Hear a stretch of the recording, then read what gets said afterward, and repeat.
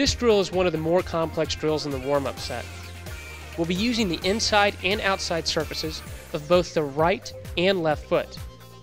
In this drill, we'll take three touches with one foot, and on the third touch, transition the ball from one foot to the other.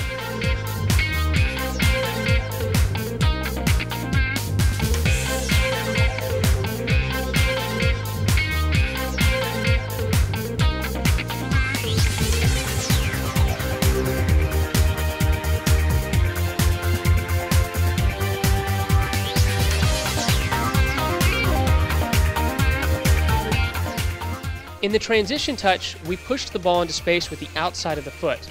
This time, our first touch with each foot is always with the inside of the foot.